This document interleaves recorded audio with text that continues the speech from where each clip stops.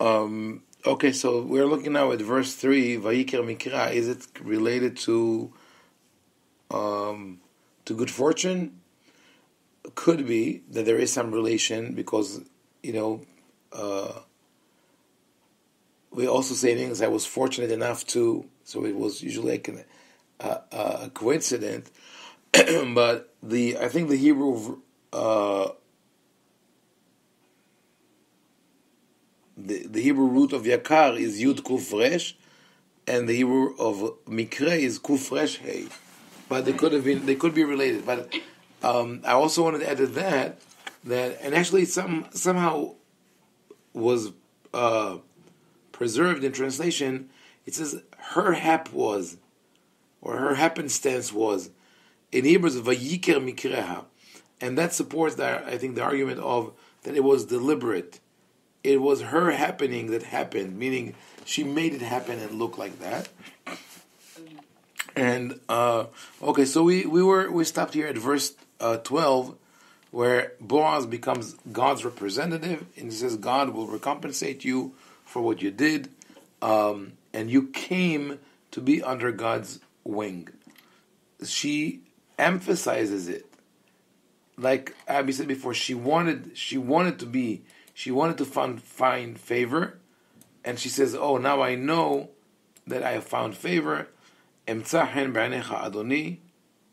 Uh,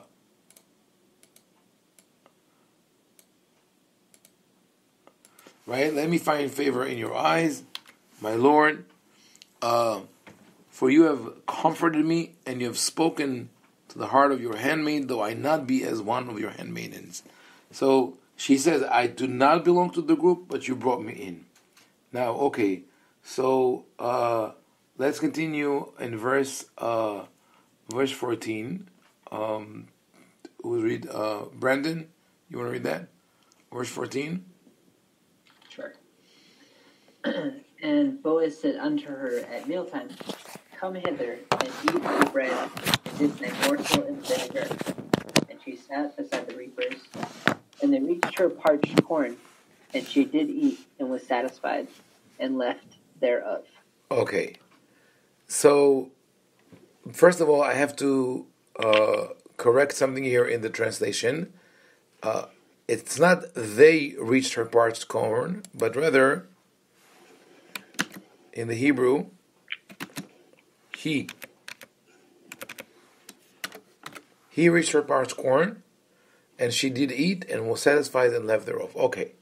Left what? Left remnants of the food, meaning she didn't eat everything, right? Okay. What what do you see in this? What happens in this uh, pasuk in this verse? Again, trying to visualize to get as much as much out of the biblical verse as possible.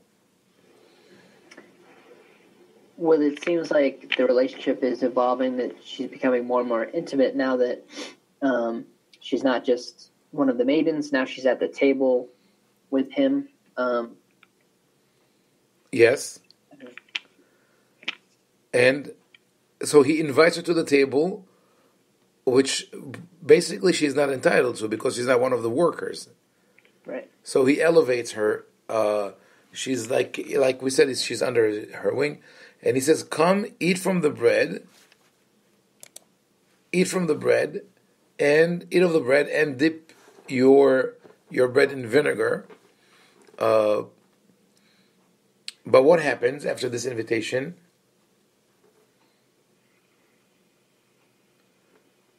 she sat besides the reapers. I mean, this is not as clear in the English as in the Hebrew. Mitzad meaning to the side, not beside as you know with people, but rather uh, a little bit removed from them to the side of the reapers. And is she eating? No. She's not eating Right. he has to reach for her parched corn, and then she eats. He, yeah, she, he has to feed her. He has to feed her. So what, what's going on here? Yeah, that, that's a bad. I think the reach. Uh, he reached her parched. I think that's a not a great English. No, uh, let's let's. Um, so, Uh, but, I mean, he, really, he hand like he handed her, or he held out to her. Yeah, li- litzbot. Litzbot is to hold with an um, with a. Uh, okay, let's leave it like that. I'm not, I'm not sure what would be the exact translation. It's like holding with the um, when you pick up barbecue uh, and you know uh, something hot, you hold it with uh, with tongues, right? So, Right. So, what do you call the act of picking up with tongues? What would it be? Like Uh, served served her. Sir, yeah, okay. served her. Yeah, he served her. Or So- passed to her. No, he served her because uh, kali, parched corn. By the way, it doesn't mean corn because they didn't have corn in Israel at the time. Uh, it means the the stalks of wheat or barley that they used to roast in the fire. Um, the uh, usually when they were still green, so it becomes like it's like popped corn or or roast uh, roast grain, and it's hot. So he has to take it by hand by but with something uh, with tongs maybe and give it to her. So uh, and this is this is even a higher level of intimacy. The owner of the field, Boaz himself, feeds this lowly woman that up until now was just a, a, handmaiden who was a, a poor woman who comes and, and picks up what the leftovers of the reapers. And now she has so much food that she can eat and be satisfied and left some uh, and leave some behind, right? Um, and how does she achieve all that? How does she get to the point where he feeds her? By being passive. You see that her wisdom is always up up to here. Pretending to be passive, to be humble, to be standing, not to collect too much, she gets more. And uh, you know, I don't know where this uh, this comes from, but that, that that's what maybe a, a mentality that she developed. Um, by being passive, she prompts Boaz to serve her and to get to start building this relationship. So let's see what happens next. Uh, Josh, you want to read that? Uh, 15? And when she was risen up to glean, Boaz commanded his young men, saying, Let her glean even among the sheaves, and put her not to shame. Let me continue. Yes. And also pull out some for her of purpose from the bundles, and leave it, and let her glean, and rebuke her not. Okay. Now what? Now what is happening? She's taking the art of being passive to a whole new level. Yeah. Right. So not only not only should you let her glean, you should set it up for her so that her gleaning will be very successful. Yes.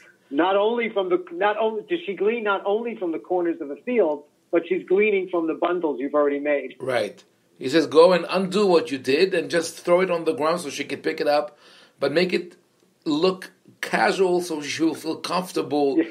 Because I already see that she's such a humble girl that she doesn't feel comfortable, you know, pushing and shoving and, and taking stuff that doesn't belong to her. So she she achieved that really amazing status by being very quiet, very very uh, uh, sort of submissive. But you realize that the this whole thing is vat- vatakom. It all starts with she rose vatakom lelaket. She stands up, and and I think that here it's uh, also symbolic because if we see her movement since she came to the field, first she comes vatelech vatavo, right? And in verse in verse three, she went and she came. Uh, in verse seven, she stood even. In verse ten, she fell on her face and bowed down. And now she starts rising by here I didn't mark this one. Goshi halom, come hither, come here. So she comes over, and she sat, and now she rises. So she comes, she stands, falls, comes again to Boaz, sits, and now she stands up. She she has uh, uh, accomplished a whole cycle of of status of who she is. Then, being the first, she stood in the field as someone who was unknown. Now she comes back to the field. She stands up as someone who owns the territory. She belongs there. And look here. Remember the first uh, one of the first word of actions that we saw in chapter one was in verse six. What what does it say? Moab. Naomi arose with her daughters-in-law that she might return from the field of Moab. Now, when she arises, she doesn't know where she's going. It's uncertainty, but she just wants to to take herself out of the misery where she's at right now. So the uh, the way the word is echoed in verse in chapter two is unlike the first time that we have a person rising, which is Naomi, in chapter one. Now we have Ruth rising in chapter 2, but she rises in a way that she really is in control of the situation. Also, I'll give you another, uh, uh, we have another word here that is uh, echoing a previous term. Look what it says here. Um, leave it, right? Leave what? It refers to the to the wheat that you pull out of the bundles. Where have we seen this word before? Va'azavtem. The the verb azav in Hebrew is to leave. Um, I think it's attributed to Ruth, right? She left. Yes. Think so. She left what? Uh, I think she left. It wasn't it when she left. No, I'm trying to remember now. It was earlier. Left her people or her. her Oh, yeah. Left her. Oh, that's right. Right. Family. So here again we see this interesting concept of the reward that is woven into the fabric of the story. You left your father and mother. Now we're going to leave for you uh, extra wheat so you could you could uh, glean. You you you clung to Naomi. Now you can cling with the girls. So um, now what happens next? Um, to, I'll read this. Uh, I'll read the Hebrew also. ותלקט בשדה עד הערב, ותחבוט את אשר ליקטה, ויהי כאפה שעורים. So she gleaned in the field until even. Wow, nice. Until the evening. uh, and she beat out that which she had gleaned, and it was about an ephah of barley. Now, ephah is about like uh, I think something like forty pounds, if I'm not wrong. That's a. Let me. If I'm not wrong, this is the. Uh, I always forget the exact amount, but it's a lot. Ephah. Uh,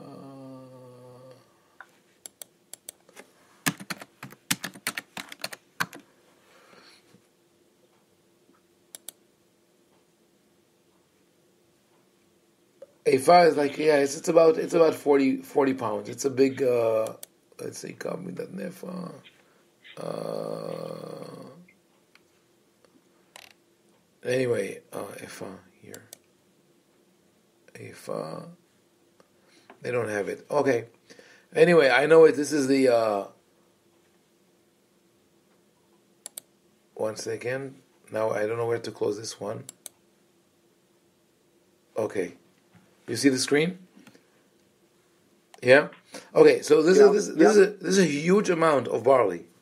Saorim, There's a huge amount of barley, and uh, and so you see this there's a uh, like a divide, a line dividing Ruth before talking to Boaz and after talking to Boaz.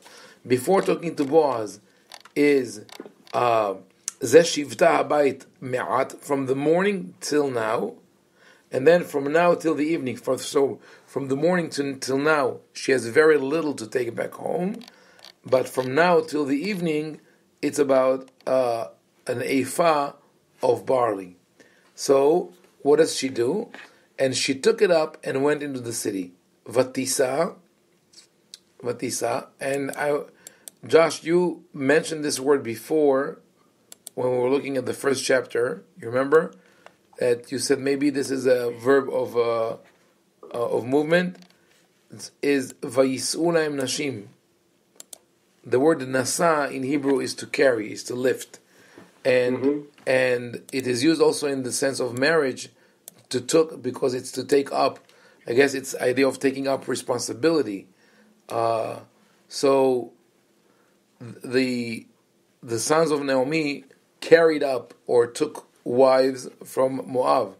It didn't go well. What happened to them? They died, and then when uh, they say goodbye to Naomi, they raise their voice. They raise their voice. They lifted up their voice again with the same term. Vatisena kolan, vativkena. They carry up their voice and they cry. But now comes the reversal of that, where the word naso is used in the positive way, where she carries the she took up what she what she gleaned in the field, but also she comes. How can we do? How can we not have our favorite word here? Vatavo. Oh my goodness. Okay, one second. Um, okay, so ותישא ותבוא העיר, ותרא חמותה את אשר ליקטה. and her mother-in-law saw what she has had gleaned. When when we say that she saw what she has gleaned, means that her eyes widened with surprise. She's shocked. This is not something uh, regular. Vatotze, la et and she brought forth and gave to her that which she had left after she was satisfied. This is such a minute detail such a minor detail. Why is it so important? To see here in verse 14, Vatochal vatisba vatotar, she left thereof. She leaves something here, right? And here, she gave her that which was left after she was satisfied. Why is it important? What does it show us?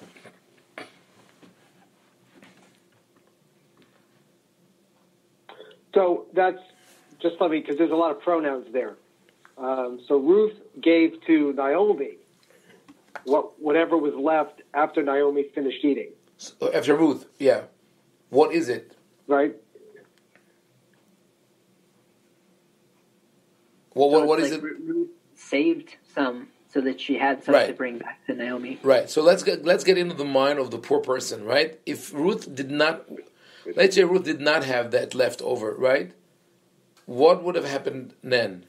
She comes with a with a ephah of barley, and what happens now?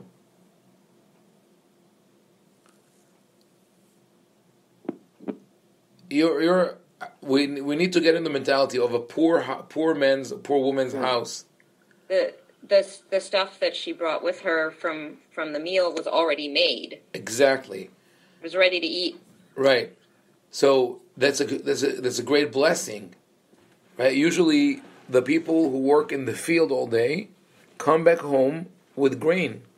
Now they have to process it and they have to make food, so they have to stay, you know, even uh, spend more time and energy uh, in order to to take care of that. Let me show you um, where we have something similar to that.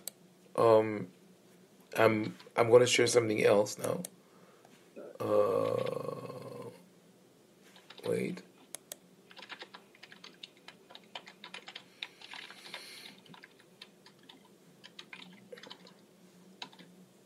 That is.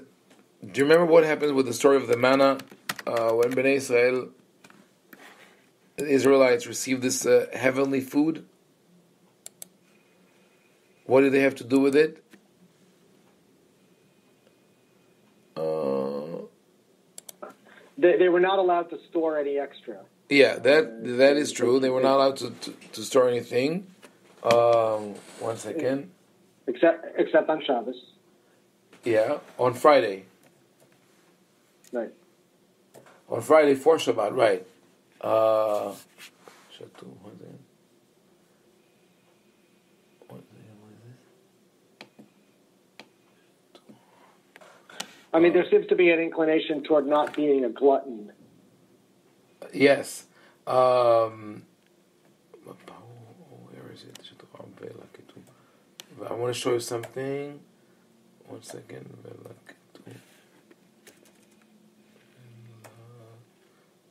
Two. Look here. This is in uh, in uh, the book of Bamidbar, uh, chapter eleven. No, sorry. It's this is Exodus. I want to go to uh, Numbers, chapter 11, which also, by the way, chapter 11 in Numbers is where where the, uh, you know, uh, faith goes into chapter 11. There's bankruptcy here. Um, it says here in verse 7 Now the manna was like coriander seed, and uh, the appearance thereof as the appearance of bdellium. The people went about and gathered it and ground it in mills and beat it in mortars and seeded it in pots and made cakes of it and the taste of it was as the taste of a cake baked with oil. So it was not an easy process to get the, the you know the manna and, and eat it. Um, I think that the manna was something like soybeans because it sounds like that you really have to something similar, uh, a grain with a lot of protein in it that uh, you could make it into you could bake it, you could make oil from it. It's protein, uh, but you have to work hard to process it. So definitely people had to do it with grain. Uh, it just describes here how difficult um, this is. So when we go back to the text here, the fact that Ruth brings with her food, ready food, is a huge blessing, and it shows us that already here, when vatochal vatizba vatotar, she did eat and was satisfied and left thereof. It's not a coincidence. She's already thinking about Naomi. She says, "I'm going to go back home to my mother-in-law. I want to give her something ready to eat." So when she comes home, uh, and she she gives her and she eats. Now her mother-in-law says unto her, Where hast thou gleaned today? And where warest thou? Blessed be he that did take knowledge of thee. So we, we even go go back past this point. Uh, this is not okay. This word is not fair. uh, let's put it this way. Oh, neither, right? Enigmatic, yeah. Uh, where I would translate it like that, right? I says, where where have you gleaned? Where have you worked?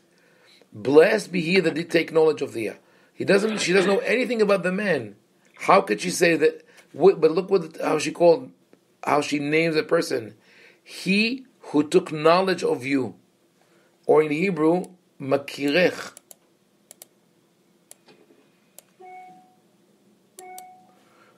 Yehi makirech.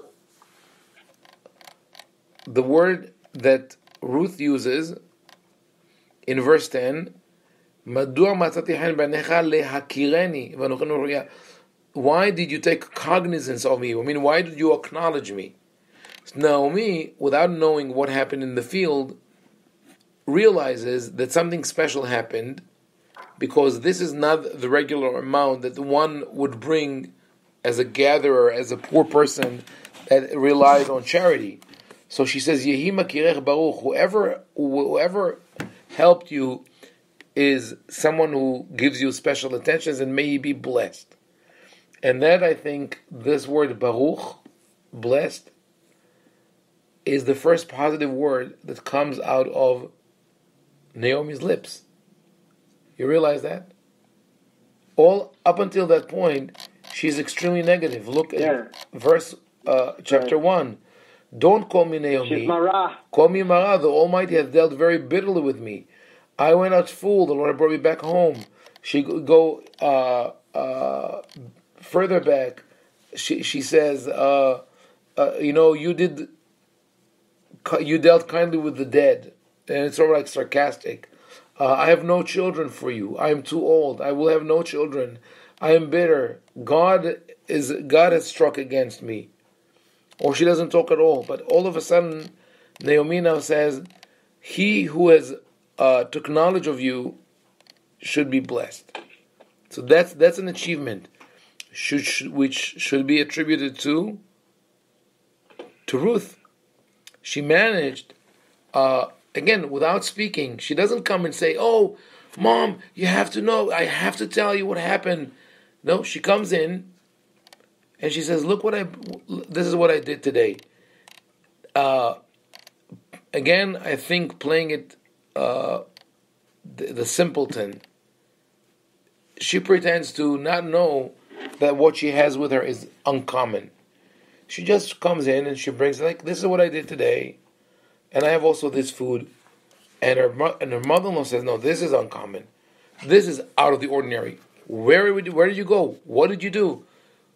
And the guy who, who, who, took knowledge of you uh, should be blessed. So she told her mother-in-law with whom she had wrought, and she said, "The man's name with whom I wrote today is Boaz." So you, you hear that kind of like innocence in her voice. Oh, just you know, it it so happens that the man that I work with today, his name is Boaz. Does it sound familiar? Do, do you know that man? And look, and and uh, now let's see the response. Julian, you want to read the verse twenty? Yes. Uh, and Naomi said unto her daughter-in-law, Blessed be he of the Lord, who hath not left off his kindness to the living and to the dead. And Naomi said unto her, The man is nigh of kin unto us, one of our near kinsmen. Okay. So, what, what does Naomi tell uh, Ruth here? Let's let's analyze her sentence. So first she says Baruch Hu Adonai. She's giving thanks. Right. So the man is blessed by God. What were the relationships of Naomi with God so far? Would say at best tense relationships, right? Not real happy. Not, not so happy. We have again the term azav. Hashem did not leave his kindness to the living and to the dead. But where did we see before this idea of kindness with the living and the dead? In chapter 1, when she talks to her daughters in law, she says, May Hashem deal kindly with you as you have dealt with the dead and with me. But now she says it about herself. She says, I see that God does remember me and does deal kindly with me. What what what Ruth wanted to do, I think, more than anything, is not only to help Naomi physically. She could have gone and, and get her food and get her whatever she needed. She wanted her to change her mentality, and I believe also not just not really to change it, but rather to restore it uh, Naomi name Naomi's name, as we mentioned before, symbolically Naomi means pleasant, but she become she becomes Mara bitter, right? So Naomi had been in the past a pleasant woman. She probably was a great woman, a woman of valor, a woman who was was a leader, um, and Ruth knew her at the time of her greatness, and she wants to bring her back.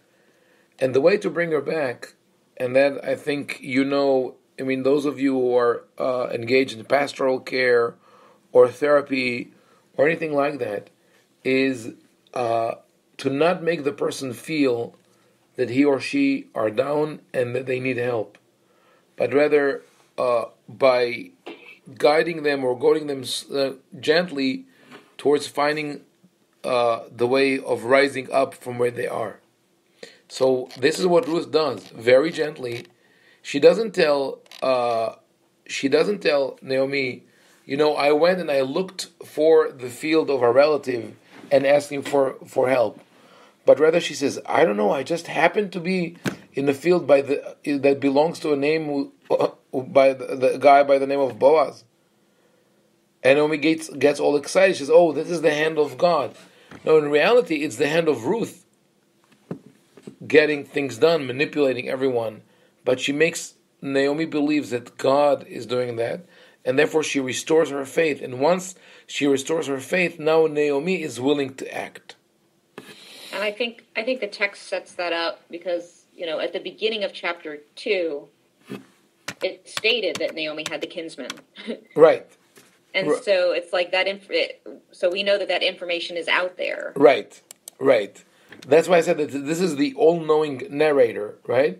The the omniscient narrator knows that this is the relative, but um, I think he sets us up uh, on two levels. First of all, how he's going to uh, uh, act later on with uh, Naomi, but also how to understand Ruth's actions, because we could have understood that as it's a pure, pure coincidence, or meaning, or or God's hand that took her to Boaz's field, or Ruth already is aware of that relative and she wants to do it, but in a way that will allow uh, will allow Naomi to join in, and uh, because here we could ask the, ask the question: If Naomi had this relative, Boaz, why didn't she approach him before that for food, for help?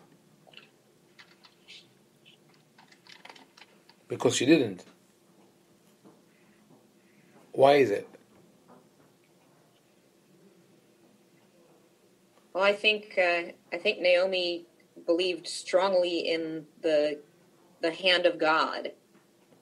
So that's just she gave up. She's despair. She's desperate because God uh, smote her. So there's no point to try to do anything. That that is that is definitely a possibility. That is, she just gave Well, up. I she mean, doesn't want to ask for favors. Or you know, it's difficult. I was going to say it's difficult in any um, family to approach a distant relative. We don't exactly know the relationship between Elimelech and, and Boaz. Um, but certainly it's a little bit intimidating for anybody to go ask for help, having not had any connection for a number of years. right. You know, they, they left. Um, Okay, so, So- we have we have religious despair, or sort of ex- what Abby says, like acceptance of the divine verdict. God wants me to be empty, so in in that sense, I would say she she shuts herself in the house, almost as in a grave. She, but but also not not just that, but also maybe sort of the you know her her her theology um, that you know if some you know I don't think something maybe good could come along, but that would be like through God's hand. uh, okay, So, so, like if she if she knew that Ruth was you know going out and you know making actions happen on her own, you know of of that will, She wouldn't be happy. From it's different from just feeling like this was what a chance encounter. God's hand is God is favoring me again. Yes, right. That's also a possibility. So, so either she does that just because she she believes in being passive and waiting for God's hand, uh, or she she really gave up on life and she might just stay there and die and hung you know of hunger, or like Josh said, she doesn't doesn't feel comfortable uh, approaching someone after they were disconnected for so long. And I think also there's a the element of uh, maybe it's connected of pride, of being too proud to ask for help. So Ruth does it in a way that will not hurt Naomi's pride, and when Naomi feels like Abby said that this is the, divine divine hand guiding events, um, and that God did not abandon me. But it's a reversal of faith of Naomi. She says, I thought that God abandoned me. I thought that God cast me away, that He's out there to strike me, but I see that He is with me, still loves me, in a way. And here, Naomi comes with this uh, revelation. Vatomer la Naomi, karov. The man is nigh of kin unto us, one of our near kinsmen. And Ruth must have fallen off her feet. Wow, I didn't know. What a surprise, right? Uh, and then, I mean, this takes from Ruth uh, that kind of uh, really resolution to say, okay, I'm not going to say anything. You know, I I know exactly who the man is. I uh, conducted everything. So, and you see that Ruth is uh, very well aware of the situation in the way she manipulates everything, because she waits for only for that moment. Now that Naomi comes with this extremely positive statement, and she says, "He is our relative. God loves me. God is with me." Now, now she gives her that piece of information. Gam ki amar elai, yeah, he said unto me, "Im הנערים אשר לי תדבקין, thou shalt keep fast by my young men until they have ended all my harvest. Cling with my the with the boys until uh, they finish the harvest. And Naomi answers,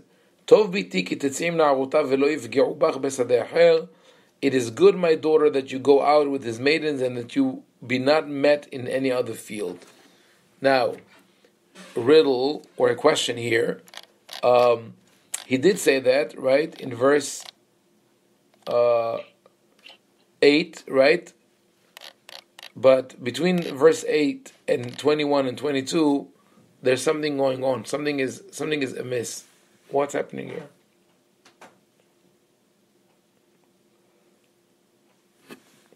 Maybe I'll bring I'll bring verse 21 yeah, verse 8 closer so we could see it.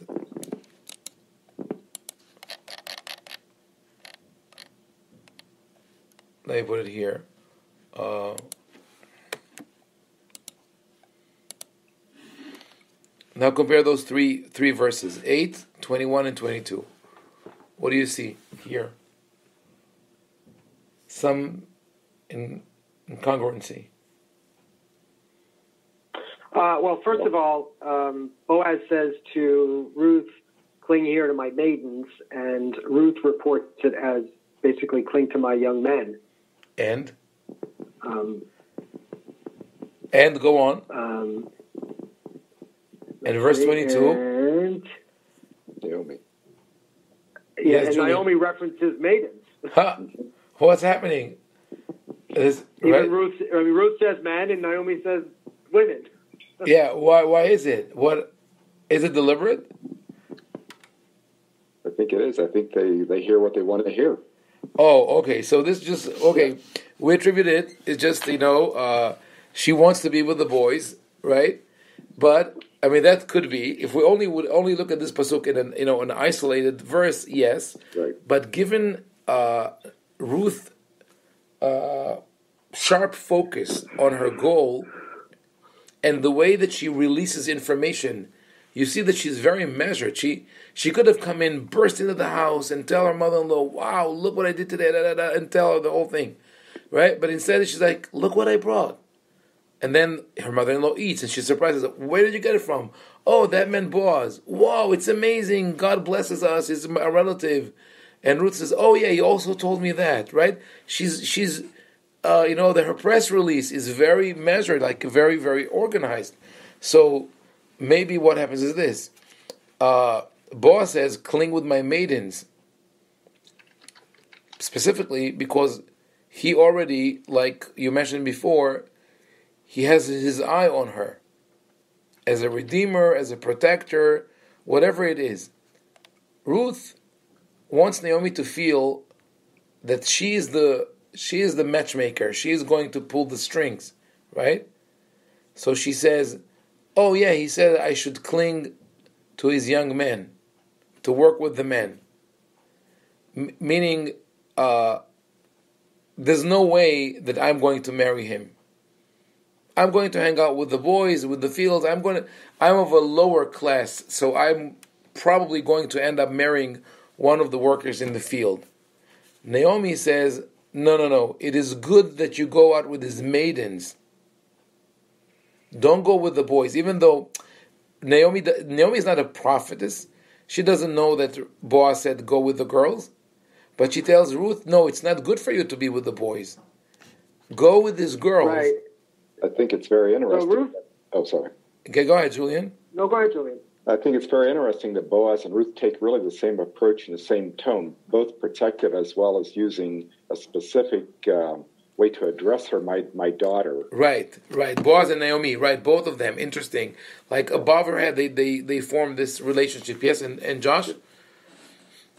Yeah, I was going to say Ruth is taking a very uh, common tack to make everything seem like it's Naomi's idea. Exactly. This is the So whole it, yeah. it, re, it rebuilds her confidence. Yes. her ability to start to control things and manage life. Yes, and and I'm presenting to you this chapter, this like the, when we do direct Tanakh, because I've I've read this since I was a kid, and I saw the you know movies on that, and and and uh, you know animated films and everything, and uh, only when I started reaching and analyzing the verbs and the words, I realized how uh, structured this is, and how calculated Ruth is in her efforts to make everything seem casual.